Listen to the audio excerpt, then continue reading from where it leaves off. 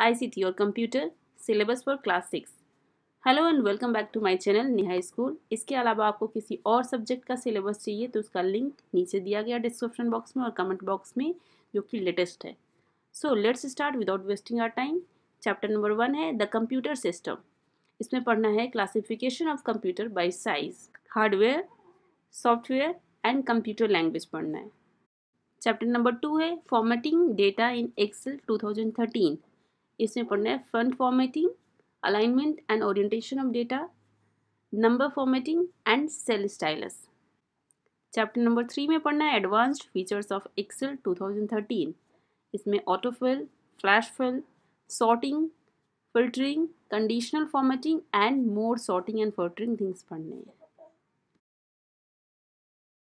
Chapter number four है introducing publisher 2013 इसमें पढ़ना है starting publisher 2013 publisher 2013 interface working with publisher 2013 creating a new blank publication connecting test boxes and typography chapter number five इसमें पढ़ना है graphics in publisher 2013 working with picture scratch area working with shapes working with building blocks chapter number six में basics of Microsoft Small Basic basics of Small Basic elements of Small Basic conditional statement in Small Basic chapter number seven बहुत interesting है। इसमें पढ़ना है the internet as a post office internet term and addresses email services information retrieval education through internet finding people on the internet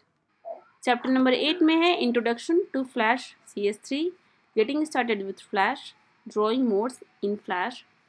selection tools. Chapter number 9 है, drawing tools in flash cs3 drawing tools and reshaping lines and shapes पढ़ना है इसमें. Chapter number ten है creating animations in flash C S three इसमें creating symbols understanding the timeline creating animations इसमें frame by frame animation motion tweening and shape tweening last में keyboard shortcuts पढ़ना है, जो कि स्मॉल है.